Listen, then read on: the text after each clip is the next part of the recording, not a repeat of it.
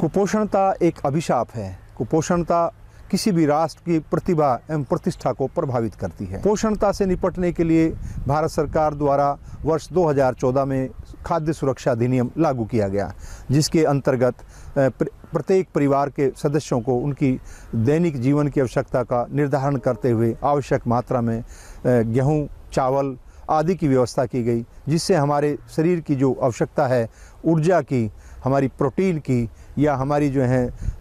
वसा की आवश्यकता है, उसको आपूर्ति करने का प्रयास किया गया है। परंतु शरीर के एक संतुलित विकास में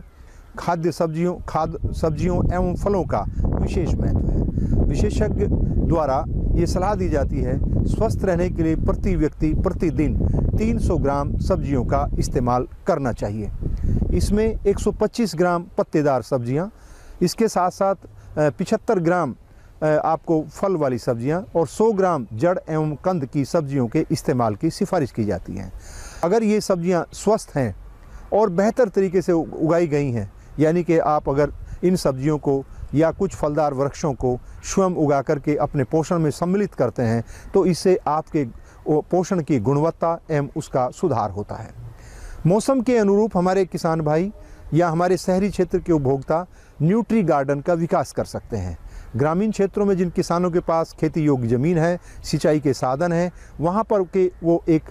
500 से लेकर के 1000 मीटर का एक क्षेत्रफल को निर्धारित कर कर सकते हैं और इस प्रकार से अपने परिवार की पूरे साल की आवश्यकता की सब्ज़ियाँ निरंतर रूप से उससे ली जा सकती हैं। ताओं को जो गृह वाटिका या न्यूट्रिशन गार्डन का निर्माण करते हैं, उनको सलाह देना चाहूँगा कि वे पत्तेदार सब्ज़ियाँ, जड़दार सब्ज़ियाँ या वो सब्ज़ियाँ जिनमें पोषणता की दृष्टि से अत्यधिक पोषण है, जैसे लेट्यूस है, ब्रॉकली है, इनको उगाने के लिए अपनी गृह वाटिका में सम्मिलित करें। सब्ज़ी फ़सलों के साथ साथ हमारे शहरी क्षेत्र के लोग अपने गृह वाटिका में सब्ज़ी के रूप में पपीता जीदार केला, फलदार वृक्षों में नींबू, किन्नू, करौंदा,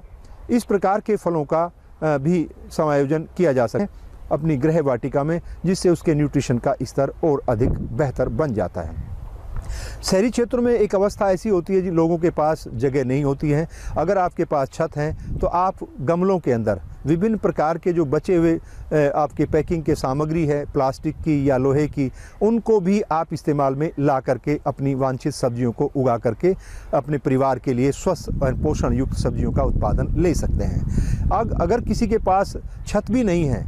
तो ऐसे में अगर आपके पास बालकनी है और आपकी रुचि है तो आप पत्तेदार सब्ज़ियाँ जिसमें मेथी है, पालक है धनिया है, पुदीना है, को आप हैंगिंग बास्केट के रूप में उगा सकते हैं या वर्टिकल गार्डनिंग के लिए आप अपनी बालकनी में लोहे की आकृतियों के या वुडन के आप एक फ्रेम का विकास कर सकते हैं। उसमें वांछित आकार के गमले या प्लास्टिक की ट्रे रख करके आप सब्जियों का उत्पादन कर सकते हैं। और इस दिशा में सहयोग देने के लिए भारतीय कृषि अनुसंधान संस्थान की जो है बीज उत्पादन इकाई एवं साक्य विज्ञान संभाग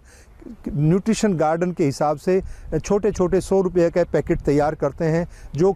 उपभोक्ताओं को उनकी आवश्यकता के अनुसार या उपलब्धता के आधार पर उपलब्ध कराया जाता है। और साथ ही साथ पूसा संस्थान में पूरे वर्ष इस प्रकार के मॉडल का प्रदर्शन भी किया जा सक, किया जाता है। और हमारे जो शहरी क्षेत्र के लोग हैं, ग्रामीण क्षेत्र के लोग हैं, उसको आकर के कभी भी किसी भी कार्य दिवस में उसका भ्रमण कर सकते हैं।